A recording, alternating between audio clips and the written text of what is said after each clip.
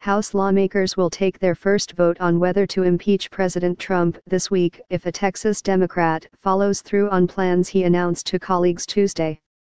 Rep. Al Green, D-Tex, said in a memo to fellow lawmakers that he planned to bring articles of impeachment to the House floor on Wednesday as a privileged resolution, one that would be entitled to a vote within two days under House rules.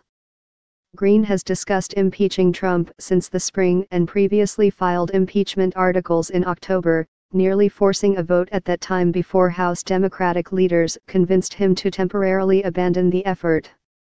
Now Green says the time has come for his colleagues to weigh in. In his memo circulated Tuesday, Green shared information on the impeachment process, the history of impeachment efforts, and the nature of his charges. I trust that the information and resources provided below will allow you to make the best possible decision for yourself, your district and for our nation, he wrote. As I have said before, this is not about Democrats, it is about democracy. It is not about Republicans, it is about the fate of our republic. May everyone vote their conscience knowing that history will judge us all. The impeachment resolution Green circulated Tuesday does not include any allegations of obstruction of justice or other alleged crimes connected to his 2016 presidential campaign or the pending investigations into connections to Russia.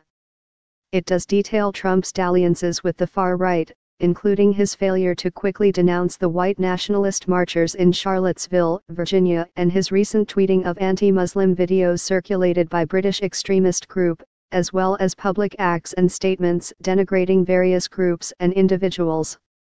In a separate letter, Green called impeachment a political remedy, not a judicial remedy, and said Trump's behavior as bigot in the White House who incites hatred and hostility constitutes a high misdemeanor worthy of impeachment. For too long, we have allowed our civility to prevent us from confronting the invidious incivility of President Donald J. Trump, he wrote in doing this, hatred disguised as acceptable political correctness has festered in our body politic and polluted our discourse to our detriment. It divides and damages the social fabric of our country in ways that obstruction of justice cannot. It causes unparalleled destruction to our society in the long and short term that will not easily heal. Green's resolution poses no threat to Trump.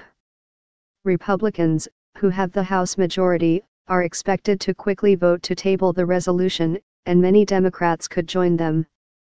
House Minority Leader Nancy Pelosi, D. California, has moved to quell any rank and file calls for Trump's impeachment, calling instead for the completion of the ongoing investigations being pursued by congressional committees and special counsel Robert S. Mueller III a senior Democratic aide said Tuesday that Pelosi's position has not changed.